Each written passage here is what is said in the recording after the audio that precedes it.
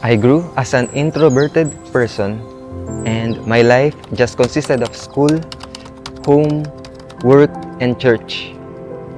I used to worship in the big church every Sunday with my family. Despite that, I did not know much about Bible truths. I tried reading the Bible many times, but I did not understand anything.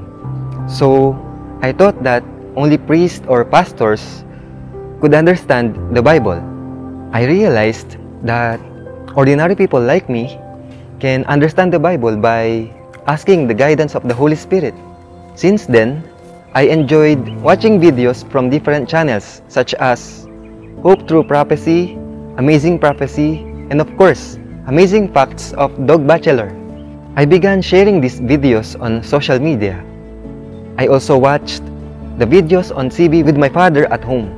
Until then, God led me to discover the convincing truths about the Sabbath, tithing, and the prophecy of Daniel and Revelation. When the pandemic hit, I had the time to reflect deeply on my faith and the truths I've discovered.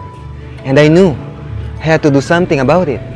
So after the lockdown, I started looking for the true church in our place. And I praise the Lord that I found one in San Fernando, Pampanga. And there, I met Pastor Jomer who taught me more about Bible prophecy using amazing facts materials. And however, because of another lockdown, we stopped meeting for Bible studies. Then, a missionary referred me to watch the mysteries of prophecy on YouTube by Sir Kevin of Amazing Facts Philippines with Hope Channel. And I enjoyed watching that. I finished all 29 topics. I felt satisfied, finally, understanding the fundamentals of Bible truths.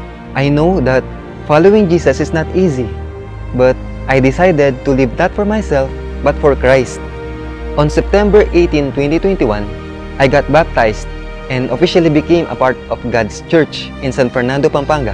Since I am the first believer in my family, I pray that I stand as a light to them. Being in God's true church, I am blessed to encounter many people as I serve in our church. May God continually lead me to fulfill His purpose. In this incredible journey, I thank the Lord for the media ministry like Amazing Facts to reach a person like me.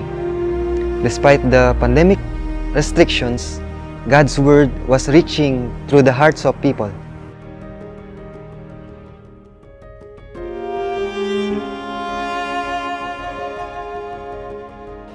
To the sponsors of Amazing Facts, thank you for fueling these dedicated people in the ministry with your supports and prayers. May you continue investing for souls and eternity. I am Jeffrey Ong of San Fernando, Pampanga. Thank you for changing my life.